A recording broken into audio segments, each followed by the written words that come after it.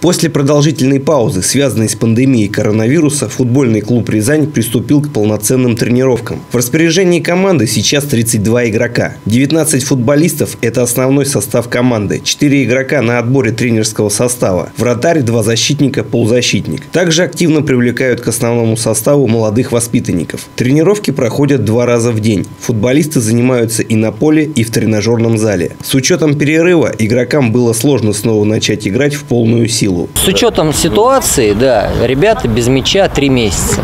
Поэтому хочется, постоянно звонили, спрашивали, а когда, когда, когда, когда же наконец начнем.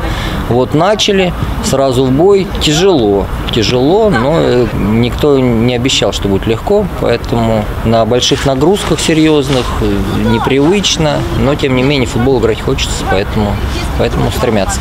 Основной состав команды пополнен новыми игроками, которые себя достойно проявили в других клубах и для футбольного клуба «Рязань» станут одними из ведущих футболистов. К нам вернулся Александр Фомин, который у нас уже был, несколько лет перерывчик сделал в рязанской карьере. Сейчас вернулся, надеемся, он нам поможет. Еще у нас э, есть варианты подписать новых ребят, которые усилят, я думаю.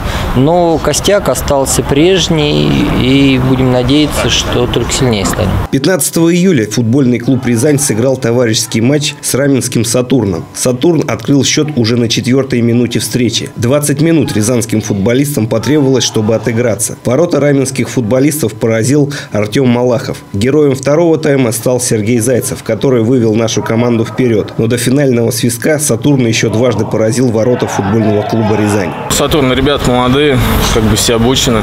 Ну, тяжело. Хорошо они подготовлены, бегали. Но мы под нагрузкой. Очень сейчас тяжело. Заслуг, конечно, Мещерякова. Притащил мяч по флангу там.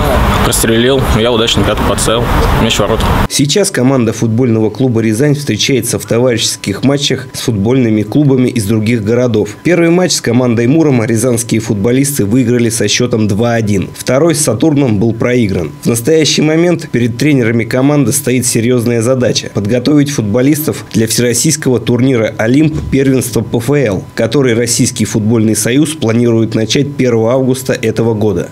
Семен Иванов, Игорь Глотов, телекомпания «Город».